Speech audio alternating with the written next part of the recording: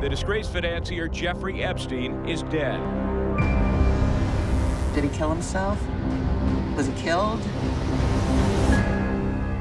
There was something happening here that was bigger than just Jeffrey Epstein.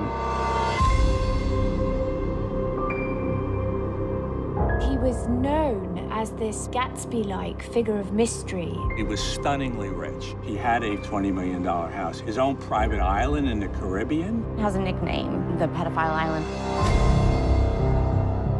In 2005, the Palm Beach Police Department received reports of young women going to and from his residence. There was an ever-revolving door of girls. Who else was underage? All of them. Those girls brought other girls too. It's a train, and it goes on and on and on. This case would put him in prison the rest of his life. Have you ever solicited a minor for prostitution? I'm going to invoke my Fifth Amendment right. Somehow, his lawyers had worked out a deal with the U.S. Attorney's Office. It was more evidence of the fact he was powerful and he could fix what everything came up. This case was one of the worst failures of the criminal justice system. There was no way that anybody could look at this and think this was okay.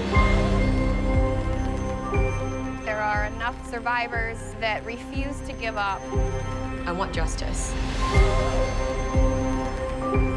He's dead, but he did not act alone. None of them have been held accountable. Start digging into his life, pulling out this spider web of people. This is the tip of a much bigger iceberg. Take them down. Take everybody down.